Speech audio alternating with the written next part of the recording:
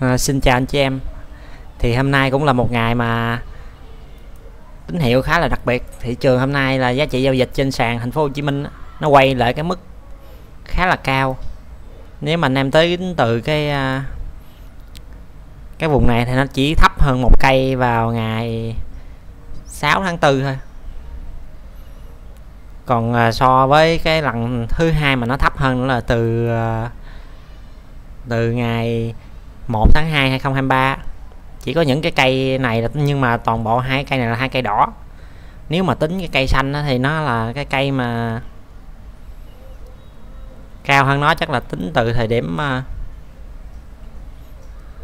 ngày 8 tháng 12 năm 2022 thì giá trị giao dịch hôm nay nó tăng khoảng ờ, uh, 17% so với hôm qua. Và điểm thì nó chỉ tăng khoảng hơn 3 điểm thôi 3.07 điểm. Thì thị trường hôm nay cũng là một phiên uh, Ờ, khá là tích cực. Thì các cái chỉ báo thì ở thị trường chung nó tiếp tục nó nó có chiều hướng tiếp tục đi lên. Thì số cổ phiếu nằm trên đường MA 10 và MA 50 đều cải thiện. Đường um, MACD cũng quay xanh. Mọi thứ hiện tại nó khá là ổn. Thì thị trường uh, tổ chức thì tiếp tục nhìn cái à, dữ liệu của tổ chức á. hôm nay nước ngoài họ quay là họ bán khá là mạnh. Tổng cộng họ bán ròng khoảng à, 516 tỷ. Tự danh trong nước thì tiếp tục có phiên à, mua ròng thứ năm liên tiếp. Tuy nhiên cái mức mua khoảng chỉ 55 tỷ thôi.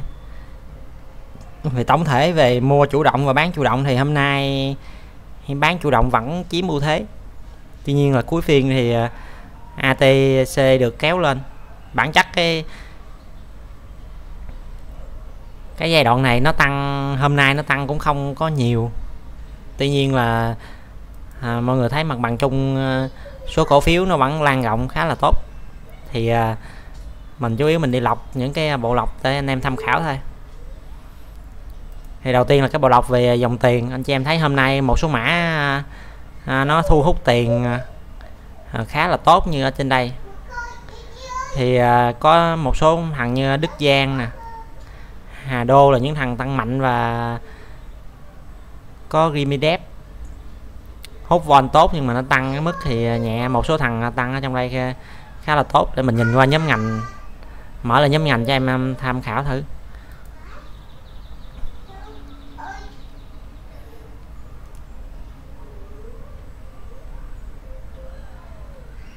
Thì nhóm ngành tổng thể anh chị em thấy hôm nay à, nhóm lớn nhóm bất động sản cũng là một nhóm à, tăng giữ được mức tăng. Và số von nó, nó cải thiện ờ, so với hôm qua khá là mạnh. Nó tăng hơn hôm qua khoảng 73 phần trăm và số cổ phiếu tăng hơn 4 phần trăm ở trong cái nhóm này nó tới ờ, ờ, 8 mã. Thì nhóm bất động sản cũng thể hiện cái tính khá là tích cực. Một nhóm tốt thứ hai là phân bón hóa chất. Thì phân bón hóa chất hôm nay nó cũng cải thiện tăng khá và von nó cũng tốt. Thì à, có một số tin à, về phân bón hóa chất là giá phân nó, nó có sự cải thiện trong vòng một tháng trở lại đây nên là nhóm này nó được hỗ trợ từ tin tức và số cổ phiếu trong nhóm ngành. Anh chị em thấy cũng à, 88 phần trăm nó nó tăng giá so với hôm qua và có một số thằng tăng mạnh. Một cái nhóm mà cũng khá nữa là cái nhóm uh, cảng biển. Thì anh chị em thấy nó cải thiện von khá là dữ. Nó tăng khoảng 155 phần trăm so với hôm qua nhóm cảng biển. Phân bón hóa chất là những nhóm à, cải thiện von khá là tốt. Nhóm thép thì cũng có cải thiện von tuy nhiên mức tăng à, à, không có nhiều. Nhóm bán lẻ cũng là nhóm hôm nay hút von xi măng cũng cải thiện tốt và tăng giá tốt. Thì nếu mà nhìn cái von thì anh chị em thấy những thằng nào hút von tốt thì cái khả năng cái xu hướng nó sẽ bền. Bởi vì nó, nó hút dòng tiền ví dụ cảng biển phân bón hóa chất. Bán lẻ hôm nay cũng uh, ok. Xi măng. Thì đây là những cái những cái nhóm mà nó hút von tốt. Còn bất động sản thì uh, là nhóm lớn. Bản chất hiện tại nó cũng uh, khá. Thì quay tiếp về cái uh, bộ lọc theo uh, hệ thống của mình. Thì anh chị em thấy uh, hôm qua những cái mã hôm qua nó nó báo mua ngày hôm qua thì bốn mã thì ở trong đây cũng có được một mã bet này nó tăng được 3.6% còn những cái mã khác thì uh, mức tăng ít chưa có thay đổi nhiều. Còn những cái mã mà nó báo mua hai hôm trước thì uh, thị trường tốt nên đa phần có lãi. Ví dụ như có GVG được uh, 7% HAG thì uh, hôm nay lại giảm cũng còn được 2,8% AIB thì cũng còn được 4,6% còn những cái mã mua khoảng uh, 4 phiên thì có thằng à, uh, BST này nó tăng được à, 8,2% thì hôm nay nó cũng à, cho bốn cái mã 5 mã. Báo tín hiệu mua thì mình mình quét mình qua mình xem thử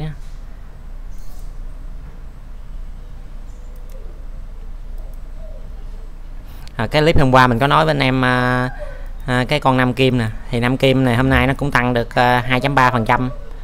Thì nói chung cũng có lãi khá. Quay lại à, cái những cái mã mà hệ thống nó báo mua hôm nay đầu tiên là Vietjet. Thì Vietjet à, mặc dù hôm nay giá giảm một phần trăm tuy nhiên là cái tín hiệu này nó báo uh, mua thì anh em cũng uh, cân nhắc. Thì hôm nay cái cây nếu mà tính ngắn hạn cái tín hiệu này có thể là không có đẹp. Tuy nhiên nếu mà nó có giảm anh em canh mà nó có giảm giá.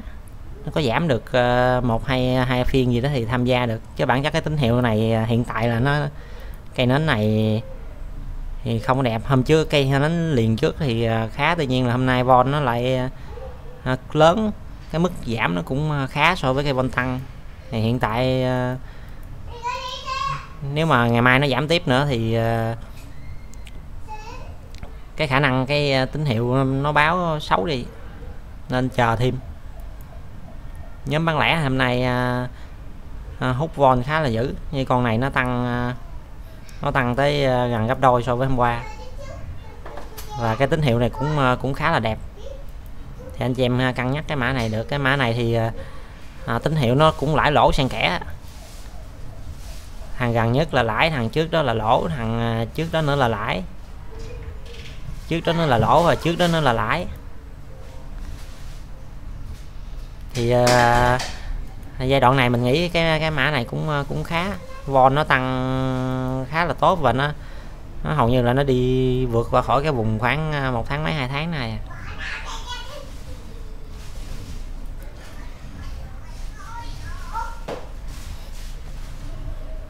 Thì hóa chất cơ bản miền Nam hôm nay hôm nay cái tín hiệu nó cũng không không phải thật sự quá mạnh. Tại vì hôm qua một cây von lớn tuy nhiên hôm nay von nó vẫn duy trì à, duy trì như vậy cũng cũng khá tạm ổn.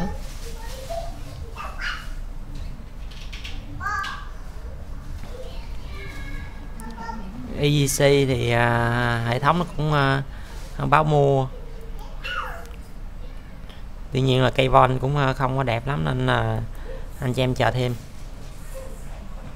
Thì à, những trong những mã mà quét ra thì có thằng à, thằng thế giới số này là mình thấy là ổn nhất. Thì anh chị em có thể à, cân nhắc à, tham khảo nữa. Mình lọc vài cái hệ thống nữa để anh em xem thử. Tìm những thằng nào tiềm năng để anh em lựa chọn.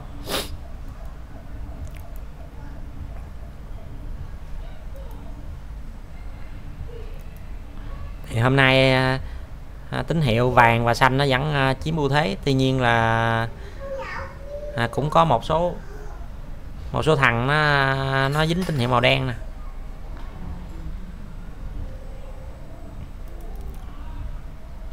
Thì anh à, chị em à, nếu mà có trong à, những thằng đen này thì mình khuyên ưu tiên giữ lãi. Còn à, tín hiệu này thì nó thường một hai phiên ngắn hạn nó sẽ giảm. Còn à, à, lâu dài hơn thì nó phụ thuộc vào thị trường chung nữa bản chất à, ngắn hạn có thể thoát được rồi chờ vào lại sau. Thì hôm nay à, thông báo thằng đạm phú mỹ này là thì mình quét những cái thằng mạnh à, mình đưa vào list mình xem thử nha.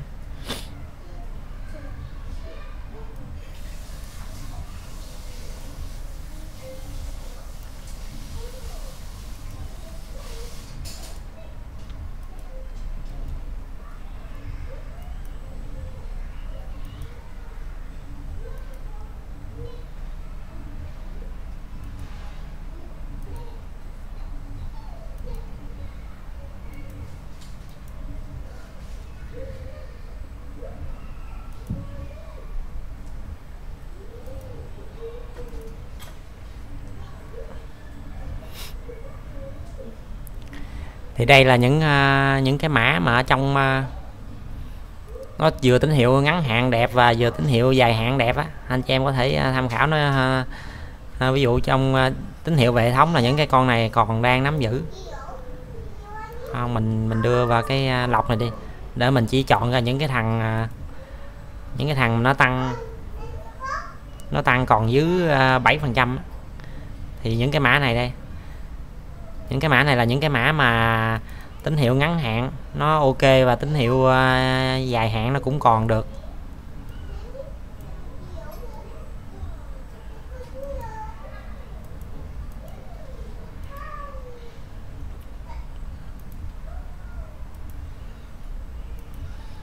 Thì ờ, đạm cà mau nó nó chung với cái nhóm phân bón mình nói đó. Thì mình ờ, mình mở những thông tin về liên quan tới nhóm đạm này, anh em xem thử.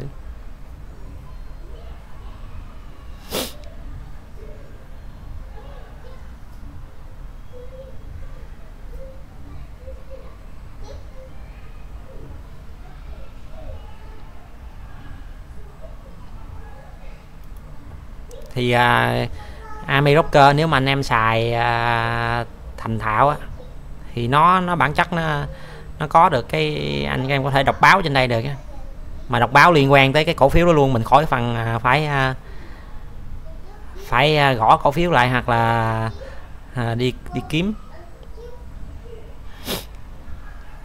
Thì đây ví dụ như à, à, mình chọn cái mã đạm cà mau thì anh thấy em thấy ở đây là nó xuất hiện những tin tức liên quan tới ờ, đạm cà mau hoặc là những cái ờ, bình luận những cái bài viết á, khá là nhiều.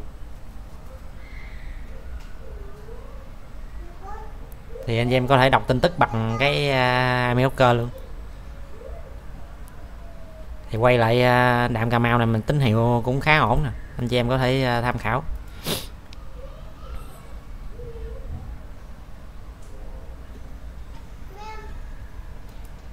Còn uh, à, đi hoặc thì mình uh, mình nói rồi đã thấy giới số này cũng uh, uh, ok.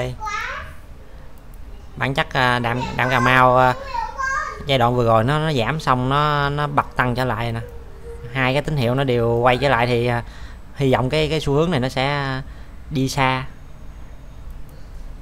Để uh, anh em có thể FRT thì uh, hôm nay khá là tốt.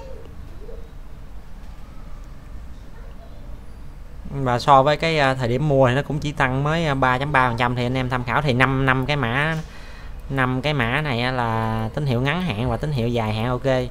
Chỉ cái con thành đạt này thì à, thật sự là nó biến động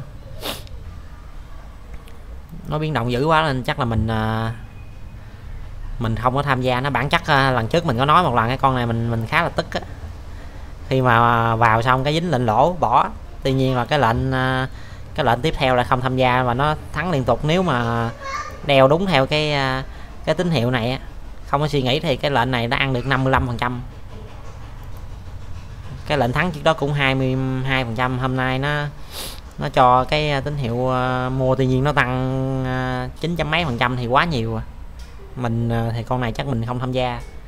Mà cũng lỗi nó ra luôn. Anh em anh em chỉ quan tâm bốn cái mã kia thôi bét hôm nay cũng tín hiệu uh, ok. Thì nhóm băng lẻ uh, nhóm băng lẻ ba thằng. Là thế giới số FRT và thằng ờ, thằng bet này ok. Còn đạm Cà Mau thì nhóm phân bón cũng cũng ổn. Thì đây là những cái tín hiệu nó nó báo hiện thời. Thì mình uh, lọc vài cái cái bộ lọc nữa xem nó còn xuất hiện cái gì nữa.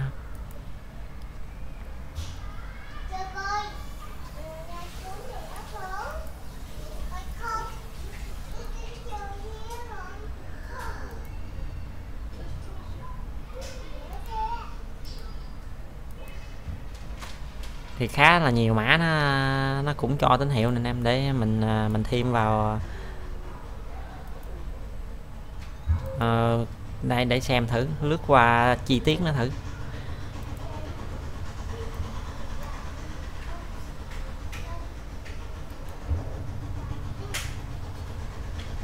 Rồi đó mình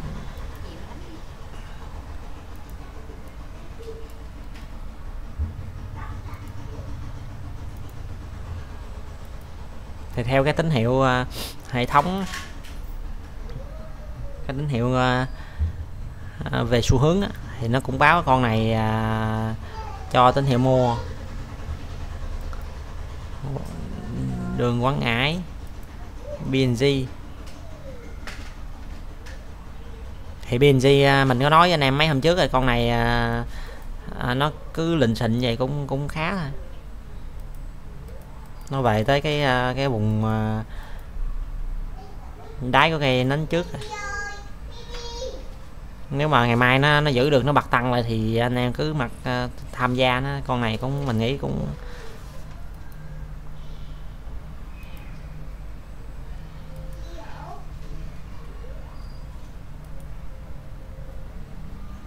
ANV thì nhóm nhóm thủy sản hôm qua nó nó tăng khá là mạnh. Cái con này mình xem hệ thống thì nó còn à, cách vùng mua cũng hơi xa.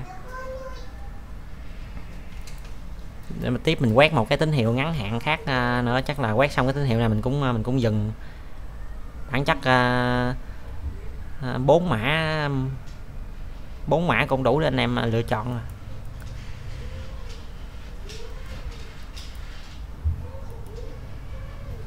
thì thằng ngắn hạn đánh lướt này thì hôm nay nó cũng không có xuất hiện cái cái mã nào? Thì dây chắc là hôm nay mình dừng cái ờ, clip này.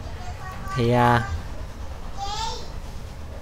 bốn cái mã này bỏ thằng thành đạt này ra thì anh chị em uh, cân nhắc tham gia. Thì thị trường hiện tại uh, nhiều anh chị em lo lắng nhưng mà mình uh, mình thấy cái giai đoạn gần đây giai đoạn gần đây nó mặc dù các cái chỉ báo theo dõi nó đi xuống tuy nhiên là nó đi xuống tới cái à, cái mức khoảng quanh 50 trăm nó nó bật lại. Nên là cái mức giảm này nó không có nhiều. Ví dụ như hiện tại nó thật sự nó đang ở vùng à, nó đã ở vùng quá mua. Tuy nhiên à, nếu mà nó có giảm nó thì nó cũng lưng phiên nhóm ngành giảm như mình nghĩ cũng như đợt trước thôi. Bản chất thị trường nó lình xình cái giai đoạn này khá là lâu à. Với lại những phiên gần đây nước ngoài họ bán liên tục mà nó vẫn à, giữ được cũng à, khá ổn ở nước ngoài họ bán à, để mình mở xem dữ liệu tổ chức mình xem, tính xem nước ngoài nó bán khoảng bao nhiêu à. Ví dụ tính từ cái cái cây này nè. Họ tính tính từ vùng đáy này đây từ ngày 20 26 tháng 4 à cái này để từ ngày 26 tháng 4 là hiện tại tới đây họ bán khoảng 2.000 2.700 tỷ 2.700 tỷ còn tự danh trong nước thì mua khoảng 818 à, tỷ. Nó giao dịch khá, khá là đối lập với nhau. Về à, phái sinh thì à, von tiếp tục những cây von lè tè. Xu hướng bản chất à, người chắc nhà đầu tư họ quay qua cơ sở tham gia nhiều hơn khi mà thị trường lên đánh phái sinh khá là khó ăn. Cơ sở thì lại à, dễ chịu hơn. Thì chắc là hôm nay mình dừng cái clip đây. Cảm ơn anh chị em đã theo dõi.